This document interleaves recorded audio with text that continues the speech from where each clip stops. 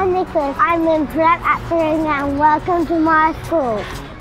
In prep, I like reading. InitiaLit is good because you can learn to read and sound out words.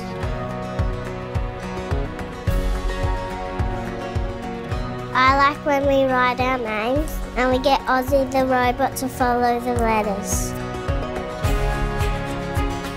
We can learn maths, it's fun. We can use numbers to count to 100 with our friends. My favourite is home corner and playing dressing up. P's the best because we play games like noodle tag.